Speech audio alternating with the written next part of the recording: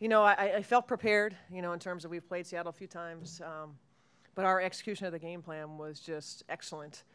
Um, so just really, really proud of them for their focus on what we were doing on the defensive end, which I thought kind of gave us a bounce in our step on the offensive end.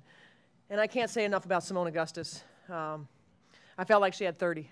You know, she only had 16, but uh, that was a game that we talked about with her, that how hard of a game it was going to be for her because she played so well against them last time. She'd been playing so well leading into this game that she was a heavy target on their defense. And for her to go out there and, and uh, handle it the way she did, uh, I was really impressed with her. You know, obviously Wiggins played well, Charde played well. Um, I thought it was a good opportunity for them to play. I, I thought Jess's minutes were, were really quality minutes. Um, you know, she has been playing well. It was just a nice opportunity, I guess, to, to give Charde extended minutes.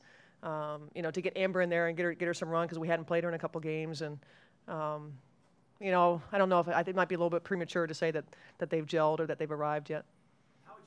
There were some moments tonight in the Target Center that just, you know, it's one of those things that just gives you chills as a coach to watch, and um, the energy that our crowd is bringing, you know, that our players, that you know, it's just it's fun. It's just a lot of fun to be a part of. Um, and it's the preparation is one at a time. And it's that way with the players. Our veterans understand that. And the only thing that matters now for us is we'll, we'll take an hour or two to celebrate this win, get some good food. Everything tastes good when you win.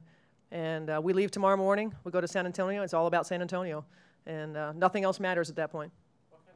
You know, Lindsay Whalen doesn't get a lot of credit for uh, her, her defensive prowess, but I got to tell you, this is one of the finer defensive efforts that I've seen from a guard as far as understanding and execution of what we were trying to get her to do.